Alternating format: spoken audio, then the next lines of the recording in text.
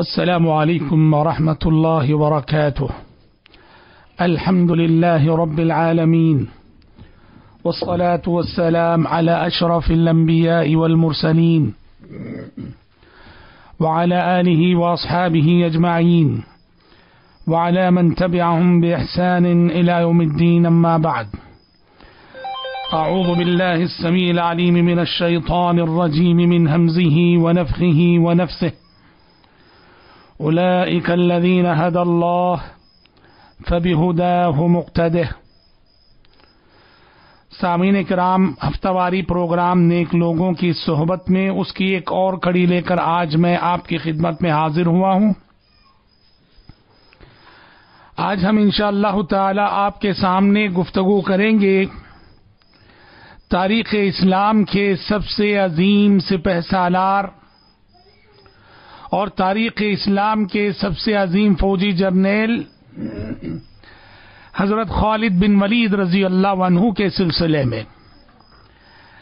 हज़रत खालिद बिन वलीद रज़ी अल्लाह जो उम्मुल मोमिनीन हज़रत मैमूना रज़ी अल्लाह के बहनजे लगते थे रिश्ते में, सन आठ हिजरी में मुशर्रफ इस्लाम हुए और इस्लामी तारीख में अपनी एक खास पहचान इन्होंने बनाई। अल्लाह रब्बुल आलमीन को जिससे जो काम लेना होता है, अल्लाह उस बंदे को उन सलाहियतों से नवाज़ देता है। हज़रत खालिद बिन वरीद रज़ी अल्लाह को अल्लाह तबारक व ने कुत ताकत, शजात बहादुरी, जवामर्दी, चालाकी, जिहानत। इन सलाहियतों से नवाजा था, इसलिए कि रब्बुल आलमीन को इनसे जो खिदमत लेनी मंजूर थी, जंगो जिदाल, जिहादो किताल इसीलिए फ़नून जंग से गैर मामूली वाकफियत और फ़नून जंग में गैर मामूली महारत हज़रत खालिद बिन वलीद रज़ी अल्लाह रखा करते थे। इनकी ताकत व शजात व जवामर्दी और फ़नून जंग में इनकी महारत का अंदाज़ा बस इस बात से लगा लीजिए, कहा जाता है कि इस्लाम लाने से पहले जितनी जंगें इन्होंने लड़ी, या इस्लाम लाने के बाद जितनी जंगों में इन्होंने शिरकत की, कभी किसी जंग में इन्होंने शिकस्त नहीं खाई। कभी किसी जंग में इन्हें शिकस्त का सामना न करना पड़ा। सिर्फ़ एक जंग सरिया मोता में इनके हाथ से सुबहान अल्लाह नौ तलवारें टूटी। कितने अजीम इंसान थे, कितने बहादुर इंसान थे। एक जंग में अल्लाह अकबर नौ तलवारें इनसे जो इनके हाथ से टूटती हैं। पर इनका हौसला जवाब नहीं देता है, इनकी हिम्मत जवाब नहीं देती है, और इनकी ताकत जवाब नहीं देती है। वही ताकत, वही कुत वही शजात, वही जवामर्दी प्यारे नबी सल्लल्लाहु अलैहि वसल्लम ने इन्हें इतने अजीम लकब से नवाजा। सैफ बिन सयूफिल्लाह। अल्लाह की तलवारों में से एक अजीम तलवार थी ये शख्सियत, हज़रत खालिद बिन वलीद रज़ी अल्लाह की। और इस लकब से प्यारे नबी ने कब नवाजा था? जब आप सल्लल्लाहु अलैहि वसल्लम ने हज़रत सहाबा कराम अली मजमाइन की फौज सन आठ हिजरी में रूमियों से लड़ने के लिए रवाना फरमाई थी। हज़रत जैद बिन हारिसा को उसका अमीर मुकर्र किया था और वसीयत की थी कि अगर जैद बिन हारिसा शहीद हो जाएँ तो जाफ़र बिन अब तालिब फौज का झंडा संभालेंगे। और अगर वो शहीद हो जाएँ तो अब्दुल्ला बिन रवाहा संभालेंगे। चुनाचे हुआ यही कि जब ये फौज गई रोमियों के मुकाबले में और जंग शुरू हुई तो प्यारे नबी ने जिस तरतीब से नाम लिए थे, सहाबा उसी तरतीब से शहीद होते गए। जैद बिन हारिसा शहीद हो गए। तो इमारत की ज़िम्मेदारी जाफ़र बिन अब तालिब रज़ी अल्लाह ने संभाली, झंडा उनके हाथ में आया। फिर वो भी शहीद हो गए। तो इमारत की ज़िम्मेदारी अब्दुल्ला बिन रवाहा रज़ी अल्लाह ने संभाली और इस्लामी फौज का झंडा उनके हाथ में आ गया। और फिर वो भी शहीद हो गए। तो मुसलमानों ने बाहमी मशवरे से हज़रत खालिद बिन वलीद रज़ी अल्लाह के हवाले ये कियादत और इमारत का अहदा किया और हज़रत खालिद बिन वलीद रज़ी अल्लाह ने अपनी गैर मामूली जंगी बसीरत और जंगी महारत से मुसलमानों को जो जो मुहासरे में आ चुके थे। और हैरत की बात यह थी, मुसलमान सिर्फ़ तीन हज़ार की तादाद में थे और दुश्मन दुश्मन एक रिवायत के मुताबिक दो लाख की तादाद में था। कहा दो लाख और कहा तीन हज़ार? दो लाख की फौज ने मुसलमानों को घेर रखा था। हज़रत खालिद बिन वलीद रज़ी अल्लाह ने बड़ी महारत से, पहले तो उन्होंने फौज में अफराद को बदल डाला। जो मैमना में थे, उन्हें मैसरा में भेज दिया, जो मैसरा में थे, उन्हें मैमना में भेज दिया, जो मुकदमतुल जैश में थे, उन्हें मुखरतुल जैश में भेज दिया।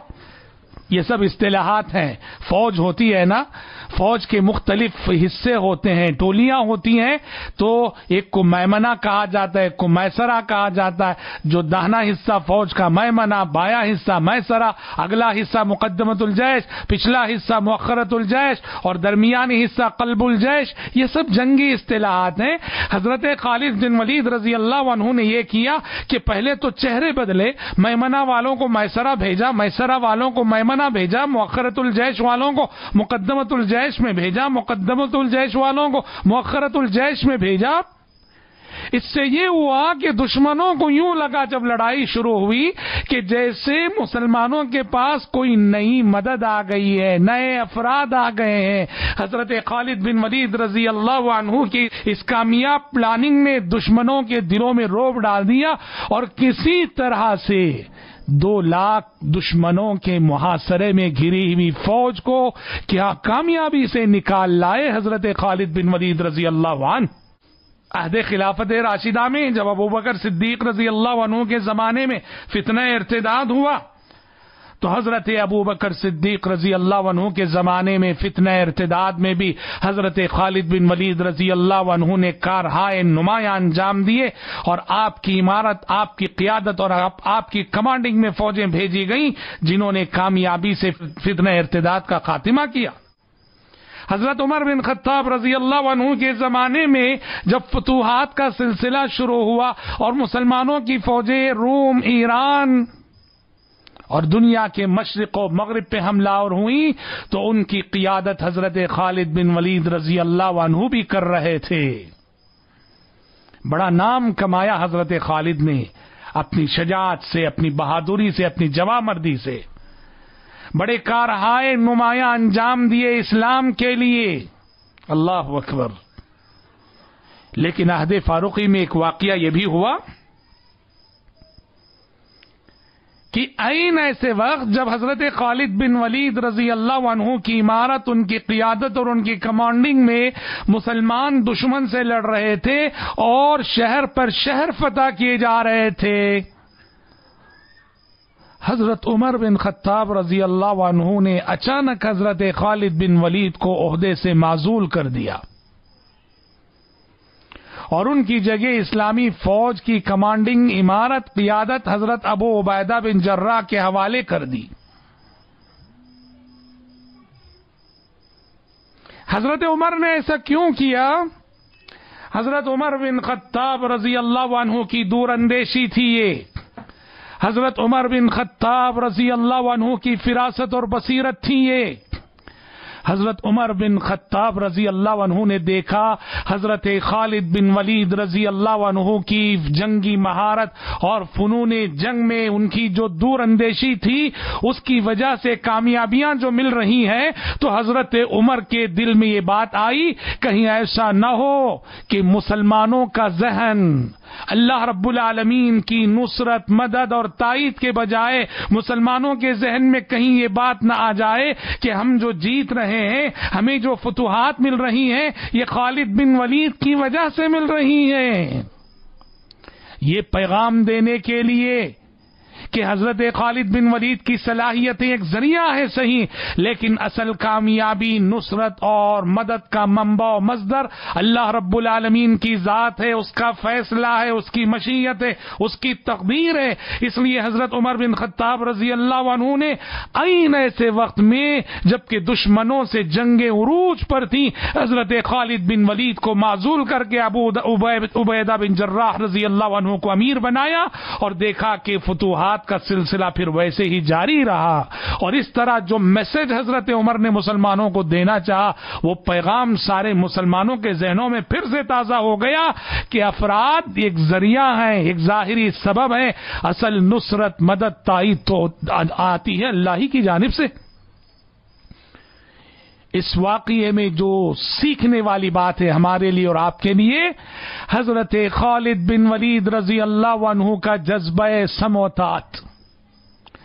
हज़रत खालिद ने हज़रत उमर के इस फैसले को सर और आँखों पर रखा। दिलो जान से तस्लीम किया। थोड़ी देर के लिए बुरा न माना, बल्कि हज़रत अबू उबैदा बिन जर्राह रज़ी अल्लाह की इमारत को तस्लीम करते हुए एक अदना सिपाही की तरह हज़रत अबू उबैदा बिन जर्राह रज़ी अल्लाह की कियादत और कमांडिंग में वैसे ही लड़ते रहे, जैसे कि वो अपनी कमांडिंग अपनी कियादत और इमारत में लड़ते रहे। अल्लाह अकबर, इसको इन्होंने अपनी अना का मसला नहीं बनाया कि अमीरुल मोमिनीन ने मुझे हटा दिया, मुझे माजूल कर दिया। नहीं नहीं। अल्लाह अकबर, ये वो सहाबा थे जो अल्लाह के लिए अल्लाह के लिए लड़ते थे। अल्लाह के लिए कुर्बानियाँ देते थे। अल्लाह के लिए जो कुछ भी करते थे, अल्लाह की रजा पाने के लिए करते थे। इसीलिए सुबहान अल्लाह कभी वो ऐसी ऐसी बातों को, ऐसे मसलों को अपनी अना का मसला नहीं बनाते थे। कितनी बड़ी बात है ये। इंसान ऐसे मौकफ में होता यह है कि अपने प्रिस्टेज और अपने वकार का मसला बना लेता है। और सामने वाले को इल्ज़ाम देने लगता है कि मुझसे दुश्मनी निकाली गई है, मुझसे बदला लिया गया है, या मुझसे हसद किया जा रहा है। क्या क्या नहीं बोलता इंसान? कुर्बान जाइए हज़रत खालिद बिन वलीद रज़ी अल्लाह बनू के इस जज्ब समोतात पर। कितना बड़ा दर्श वो दे गए, कितना बड़ा सबक वो दे गए। आइन उस वक्त जब कामयाबियाँ कदम चूम रही थी मुसलमानों के, इनके जेर क्यादत, उस वक्त उन्हें माजूल किया जाता है और जबान पर एक हरफ शिकायत हज़रत खालिद रज़ी अल्लाह नहीं लाते। बड़े अजीम सहाबी थे। ज़िंदगी वक्त कर रखी थी इन्होंने। अल्लाह के लिए, जिहाद फ़ी सबील्लाह के लिए। उसका अंदाज़ा आप उस मशहूर रिवायत से कीजिए, जब एक मरतबे प्यारे नबी ने जक़ात वसूल करने के लिए आमिल सदका को भेजा तो आमिल सदका ने वापस आकर कहा कि तीन लोगों ने जक़ात देने से इनकार कर दिया है। कहा कि एक तो इबन जमील, एक तो हज़रत अब्बास, एक तो खालिद बिन वलीद। प्यारे नबी ने उनसे फरमाया, ये जो शिकायत आमिल सदका ने की उनसे फरमाया, कहा कि रहे अब्बास अब्बास रज़ी अल्लाह का मामला ये था कि उन्होंने अपने माल की जक़ात एक साल पहले एडवांस में दे दी थी। या फिर एक तफसीर और एक शराह के मुताबिक उन्होंने प्यारे नबी से इजाज़त ले ली थी कि इस साल की जक़ात में एक साल ताखीर से दूँगा, दो साल की जक़ात एक साथ दूँगा, वो परमिशन प्यारे नबी उन्हें उन्होंने प्यारे नबी ने उन्हें दे दिया था। कहा, अम्मा खालिद और रहे खालिद तुम ये कह के जुल्म करते हो खालिद पर कि वो जक़ात नहीं दे रहे हैं। कहाँ से वो जक़ात देंगे? फ़ी सबीलिल्लाह। खालिद बिन वलीद ने अपने सारे हथियार, अपने सारे साजो सामान जिहाद फ़ी सबीलिल्लाह के लिए वक्फ कर रखे हैं। किस माल की वो जक़ात निकालेंगे? उनके पास जो कुछ है वो अल्लाह के रास्ते में वक्फ हो चुका है। हज़रत खालिद बिन वलीद रज़ी अल्लाह जिनकी ज़िंदगी जंगो जिदाल, जिहादो किताल में गुजरी, एक मरतबे कुरानी मजीद को देखा, मुसहफ को देखा, रोने लगे। रोकर कुरानी मजीद से मुखातब होके कहने लगे, शगलनी अल जिहाद अंक ए कुरान, तुझे जैसा पढ़ना चाहिए था वैसा पढ़ नहीं सका मैं। तुझे जितना पढ़ना चाहिए था उतना पढ़ ना सका मैं। तुझे जितना वक्त देना चाहिए था मैं न, नहीं दे सका इसलिए कि जिहाद में मशगूल रहा। गोया कि वो माजरत कर रहे हैं। हसरत से कुरान मजीद से मुखातब हो रहे हो। ये कैसे लोग थे? अगर वो कुरानी मजीद जितना वो पढ़ना चाह रहे थे नहीं पढ़ सके, कुरानी मजीद को जितना वो वक्त देना चाह रहे थे नहीं दे सके, इसलिए नहीं कि किसी दुनियावी काम में मशगूल थे, वो तो जिहाद फ़ी सभी जैसे फरीजे में मशगूल थे, जिहाद जैसी अजीम नेकी में मशगूल थे, लेकिन देखो फिर भी कुरान से सहाबा का शगफ, कुरानी मजीद से सहाबा का ताल्लुक, कुरानी मजीद से सहाबा का लगाव और मोहब्बत कैसी थी? उन्हें हसरत है कि कुरान मजीद को ज़िंदगी में जितना वक्त देना चाहिए था मैं नहीं दे सका। रब्बुल इज़्ज़त कुरान से ऐसा शगफ, ऐसी मोहब्बत हम सबको नसीब फरमा दे। अल्लाह आमीन। बिलाखिर एक मिसाली ज़िंदगी गुजारने के बाद हज़रत खालिद बिन वलीद रज़ी अल्लाह शाम के शहर हेम्स में सन 21 हिजरी में उन्होंने वफात पाई और उस वक्त वफात पाई जब उनकी उम्र अट्ठावन साल की थी, पचास पर आठ साल के वो थे। और रिवायतों में आता है, जब मौत का वक्त आया, हज़रत खालिद रोने लगे। लोगों ने कहा, क्यों रो रहे हैं आप? हज़रत खालिद ने कहा, कि मेरे जिस्म का कोई हिस्सा ऐसा नहीं जिसमें जख्म के निशानात ना हो। मेरा जिस्म सर से पैर तक जख्मों से छू रहे। लेकिन उसके बावजूद मुझे शहादत नहीं मिली। मैं शहादत की मौत मरना चाह रहा था। मुझे इसलिए रोना आ रहा है कि मैं बिस्तर पर तबई मौत मर रहा हूँ। खैर, ये तो हज़रत खालिद के जज्बात थे, वरना हदीस रसूल तो क्या कहती है? मन अल्लाह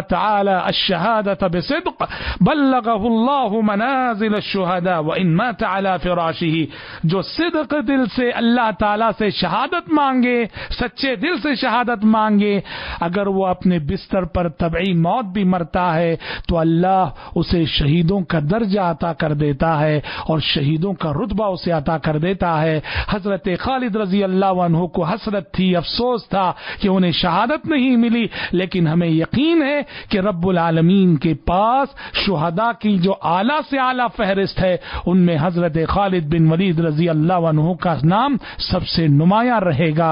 रब्बुल इज़्ज़त से दुआए के परवरदिगार आलम, मुझ कहने वाले को और आप सभी सुनने वालों को, हज़रत खालिद बिन वलीद रज़ी अल्लाह जैसे साहबा के नक्श कदम पर चलते हुए इस्लाम के लिए जीने और इस्लाम के लिए मरने की तोफीक और सादत नसीब फरमाए। आमीन, सुम्मा आमीन। वाखिर दावाना अलहमदिल्ला रबीआलमीन असल वरहमल वर्का